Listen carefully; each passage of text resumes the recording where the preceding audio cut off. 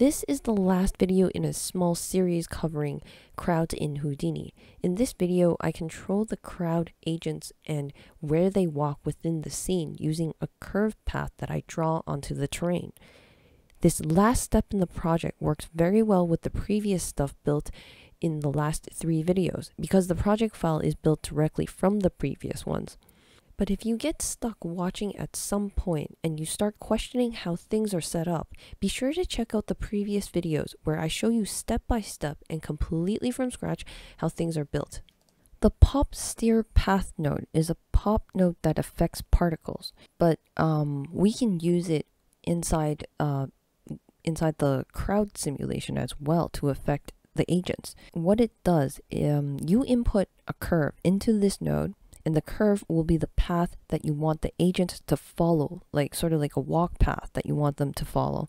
And this node, um, it applies additional force to the agents using the normals on the point on the curve that you provide. And it uses those normals, normal directions on the curve. It affects, that's how it, uh, it affects the agents around it to follow. That's the direction that it'll keep feeding in into the agents. Will the the curve that you create will consist of a lot of points on it, and each point will have a normal attribute. And this describes the direction that the curve at that point is heading toward. And this will be the influencing direction for the agents. So the agents will follow these directions on the curve from the beginning of the curve to the end of the curve. So when agents reach the end of the curve, so that's like the last point on the curve, and that's the last um, influential direction that it has, what it'll do, it'll go back to the first point on the curve and continue uh, following the direction. Repeat all over again from the beginning point to the end, and then just keep going and going. So let's see how this uh, looks like in action.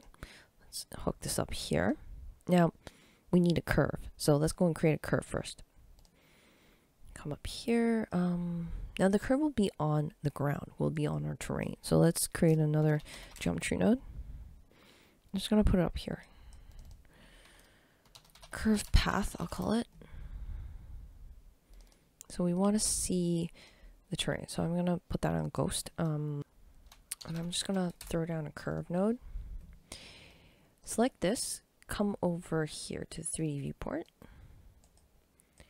Mouse over here, press enter. So now you can draw on this uh, uh, plane. Zigzaggy. Okay.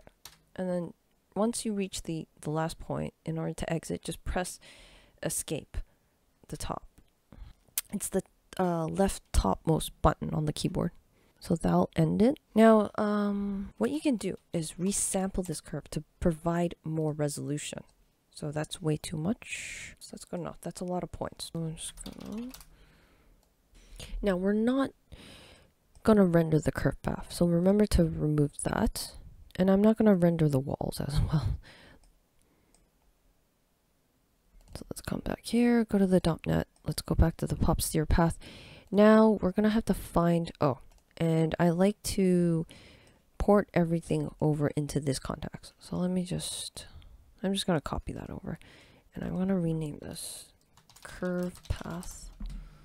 So this, come up here, go, let's collapse all these. Oh, curve path right here. So output path. So curve path, output path.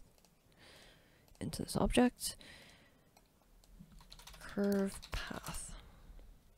Okay, let's go in here uh, path, let's come in. Crowd.net, because I brought it into this context. Curve path. Curve lookup. Let's reset the sim. Forces, uh, uh, markers. Turn on our... Okay, so I hope you can sort of see that they're zigzagging. Now let's go up.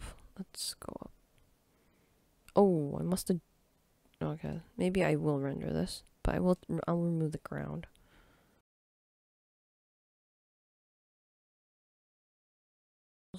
Oh, it's walking right through the walls. So once you enter something like that and you have to like readjust uh, the pop obstacles. I might have to make the obstacles a little more stronger so that they don't walk through the walls. Basically, if you really don't want them to walk through the walls, this pop steer obstacle has to have greater weight than the pop steer path. So let's reduce this force. Let's reduce it to 5. Uh, restart it.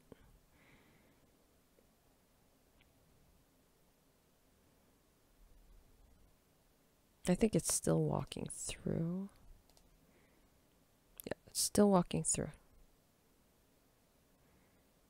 There's another way that we can fix this is that I think it's because the last point is pointing outwards and every and they're shooting all the particles are shooting out.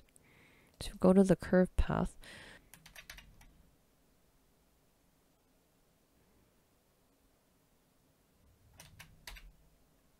So they're still not following the last one. They're getting shot out.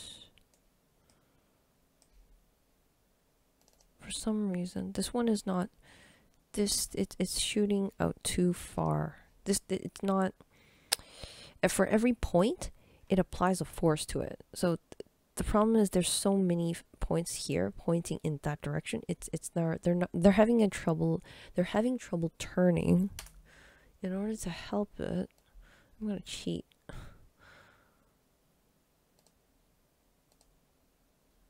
Oh, oops. I'm gonna help it a little bit. Hopefully they'll direct them in the right direction.